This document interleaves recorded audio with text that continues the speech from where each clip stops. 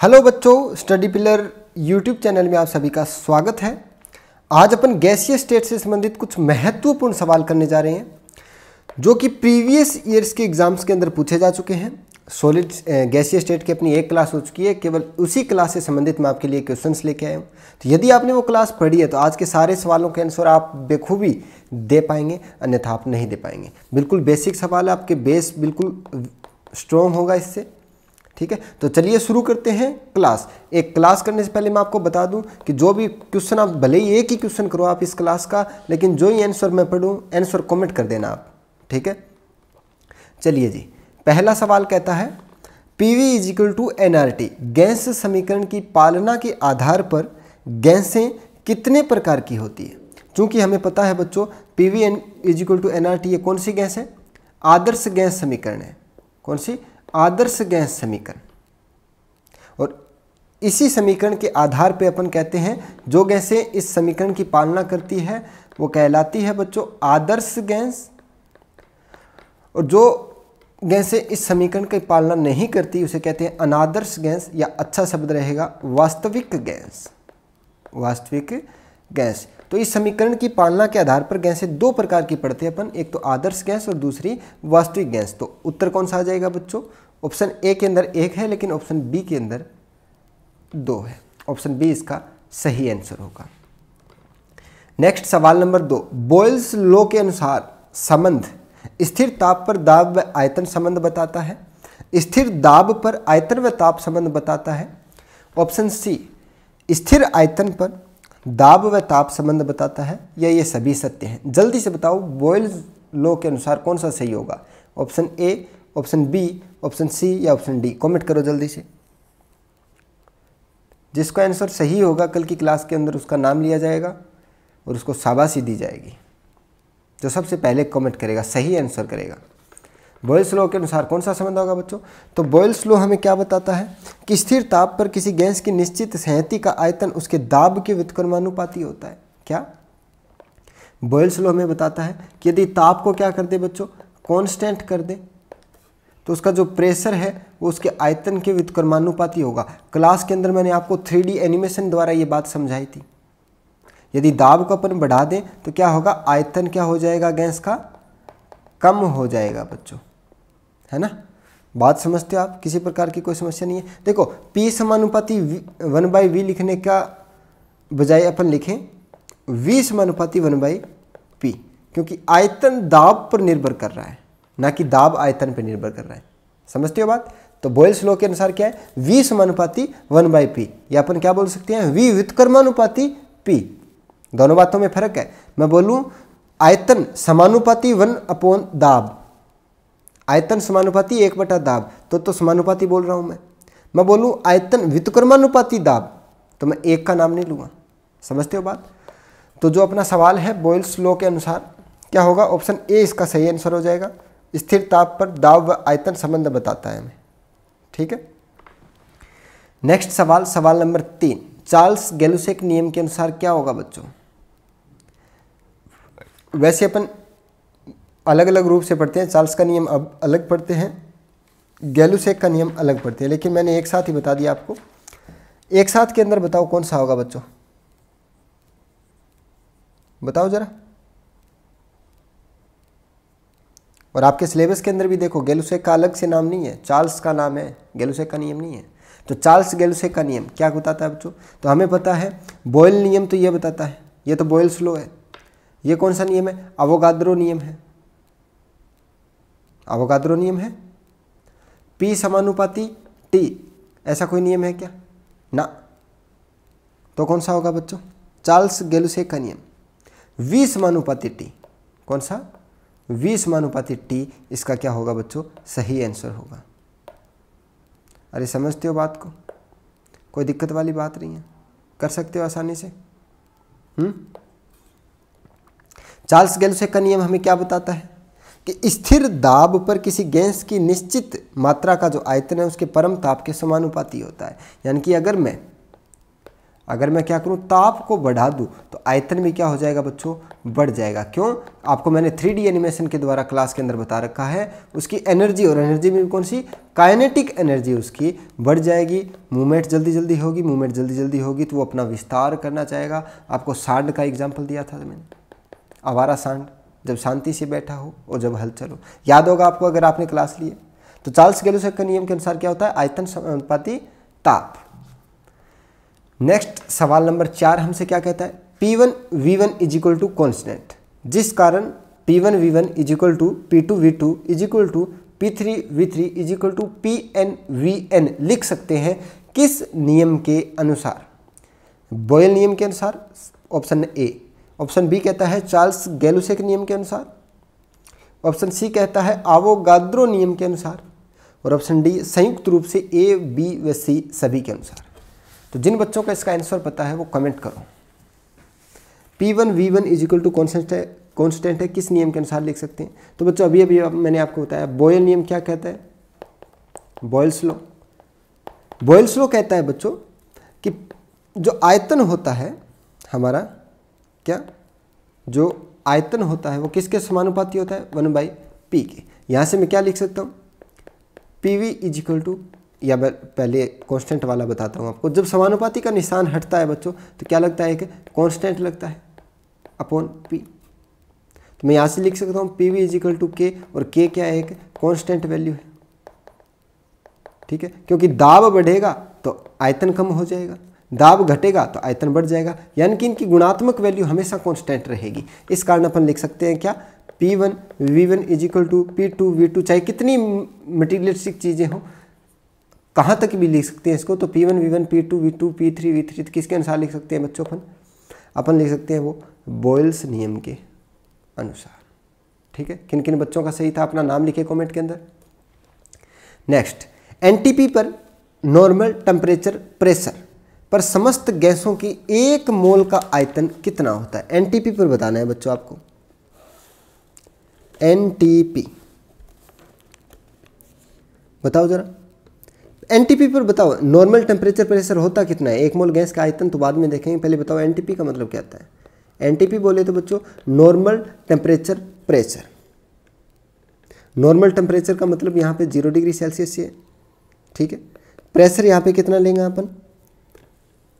एक वायुमंडलीय दाब। एक वायुमंडलीय दाब अपन लेंगे। ठीक है?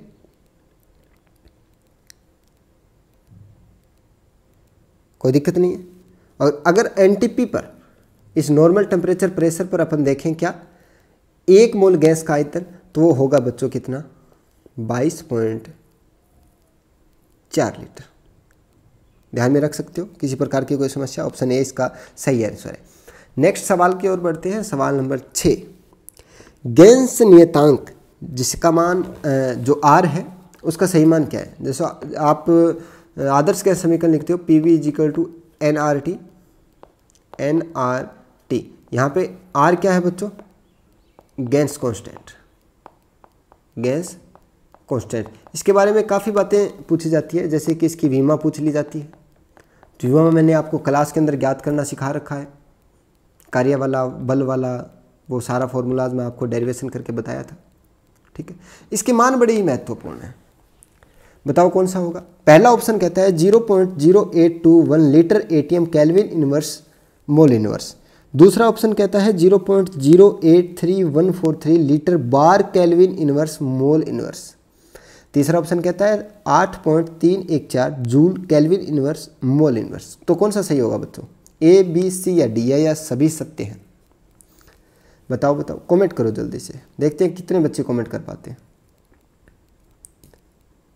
चलो जी, जो गैस नियतांक के सभी मान सत्य हैं बच्चों। ये भी होगा, ये भी होगा, ये भी होगा। देखो अलग अलग सारों की इकाइयाँ, यानी कि ऑल ऑफ़ दीज ये सत्य है। अगर लीटर एटीएम का पूछे तो ये भी सत्य है। लीटर बार के अंदर पूछे तो ये सत्य होगा, जूल के अंदर ऐसा यूनिट के अंदर पूछे तो ये वाला सत्य होगा। तो ये सभी मान्य है। आपको मुख्यतः दो मान ध्यान में रखने हैं। जूल का पूछे तो eight point three one four या फिर ज़ीरो पॉइंट ज़ीरो एट क्या हो गया?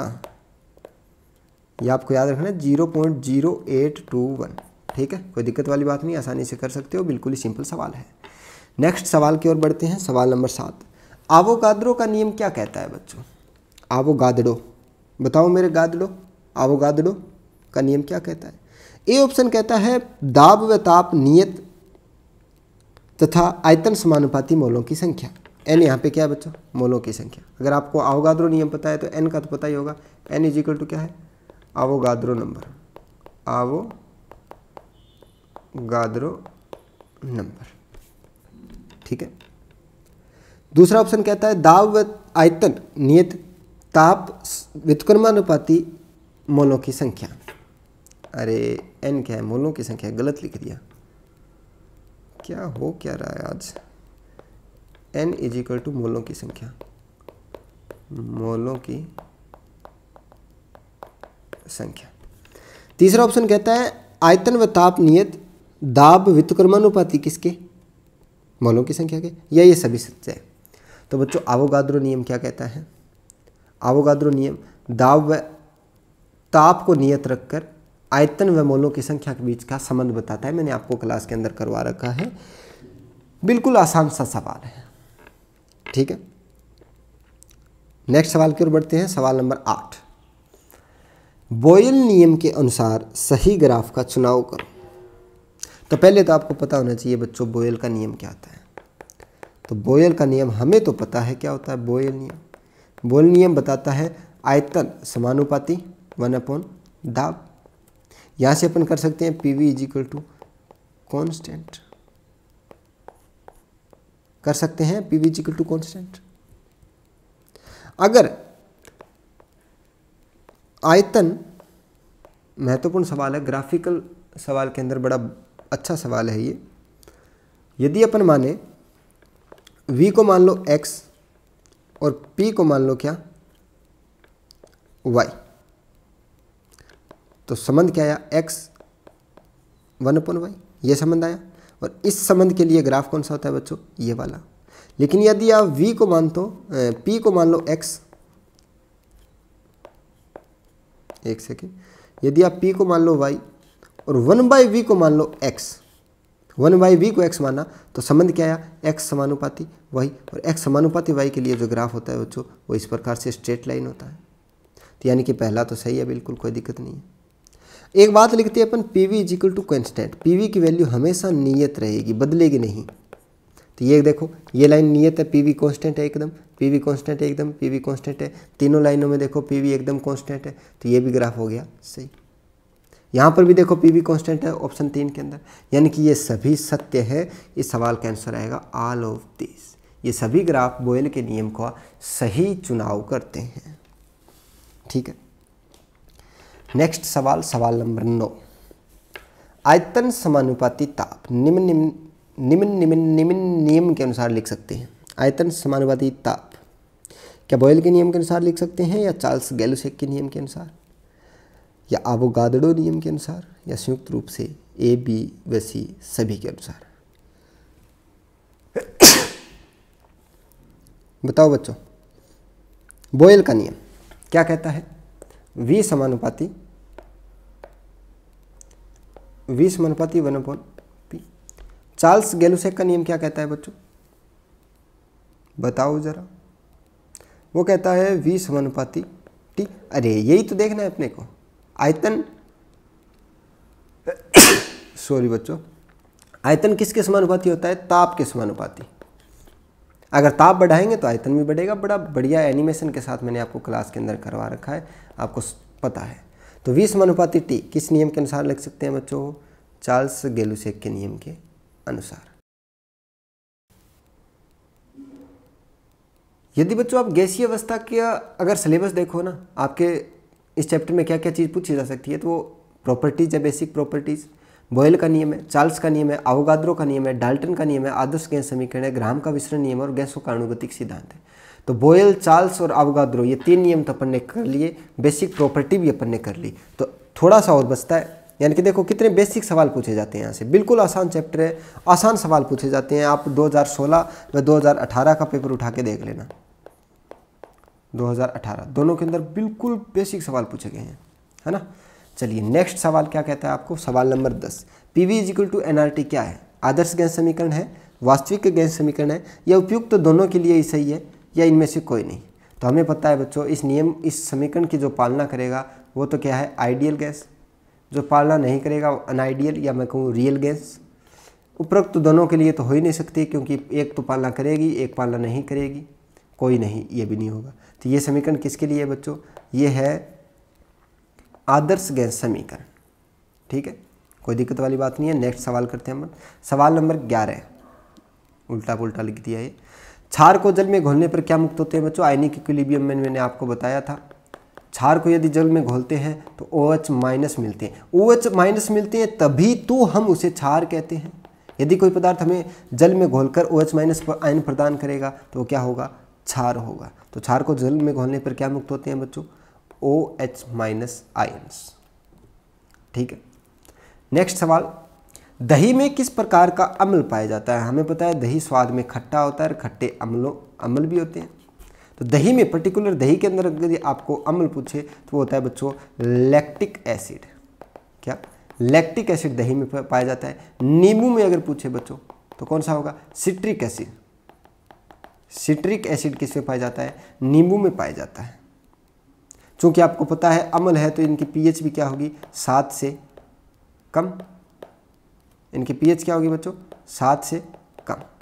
ये भी आपको ध्यान में रखना है। सात पीएच वाला उदासीन होता है, सात से ज़्यादा वाला क्या होता है बच्चों? क्षारिय होता है। ठीक है? तो यानी कि क्लिबियन में अपन सीख चुके हैं। इस सवाल का आंसर आ जाएगा ए। नेक्स्ट सवाल, वे पदार्थ जिनके स्वाद खट्टा होता है और जो नीले लिटमस को के घोल को लाल बना देते हैं, उसे क्या कहते हैं? नीले लिटमस को, एक नाम याद रख लो अनिल। अनिल नाम में क्या है? अम्ल नीले लिटमस को लाल कर देता है। तो जो स्वाद में खट्टे होते हैं बेसिक है टेंथ क्लास के अंदर भी इस प्रकार के सवाल बनते हैं। दसवीं क्लास का बच्चा ये सवाल कर सकता है। तो ये पदार्थ जो स्वाद में खट्टे होते हैं और नीले लिटमस को, के घोल को लाल बना देते हैं, उसे क्या कहते हैं? अम्ल कहते हैं। नेक्स्ट सवाल, किसी अम्ल के मुख्य रूप से एक परमाणु अवश्य मौजूद रहता है, जो धातु से अभिक्रिया करके गैस उत्पन्न करता है। क्या बोल क्या रहा है ये देखो। किसी अमल में मुख्य रूप से एक परमाणु अवश्य, एक परमाणु कौन सा बच्चों? एक परमाणु हाइड्रोजन। ये अम्ल तो वही है जिसके अंदर H प्लस आयन देने की क्षमता हो। और H प्लस तो निश्चित होगा ही होगा अम्ल के अंदर। तो किसी पौराणिक परिभाषाओं के अनुसार, आजकल की परिभाषाएँ अम्ल व क्षार के अलग अलग है। पौराणिक परिभाषाओं के अनुसार किसी अम्ल के अंदर मुख्य परमाणु, एक परमाणु तो अवश्य होगा वो क्या है एच प्लस जो धातु से विक्रिया करके क्या बनाता है बच्चों? हमेशा एच टू गैस बनाता है। क्या? एच टू गैस बनाता है। तो किसी अमल में मुख्य रूप से एक परमाणु अवश्य मौजूद रहता है तो धातु से विक्रिया करके गैस उत्पन्न करता है। वो गैस कौन सी है? ऑप्शन ए हाइड्रोजन गैस है। क्या? Option A hydrogen gas. Oxygen नहीं, नाइट्रोजन नहीं, अमोनिया नहीं, कौन सी गैस? हाइड्रोजन गैस बच्चों। तो ये आज के अपने सवाल हो गए, करीब करीब पंद्रह सवाल अपने बेहतरीन सवाल करें। सारे के सारे आपको याद रखने हैं, मैंने आपको सारे के सारे समझा रखे हैं। इन सवालों में से सवाल आएँगे, निश्चित तौर पे सवाल आएँगे और आपको गलत नहीं करना है बच्चों। तो रेगुलर आप एम की क्लास लेते रहो। मैं रिपीट कर रहा हूँ, क्वेश्चंस बार बार रिपीट कर रहा हूँ ताकि आपको याद रहे, आपके ध्यान में हमेशा रहे। ठीक है? तो मिलते हैं बच्चों कल की थ्योरी की क्लास में, तब तक के लिए जय हिंद, जय भारत, मेहनत करते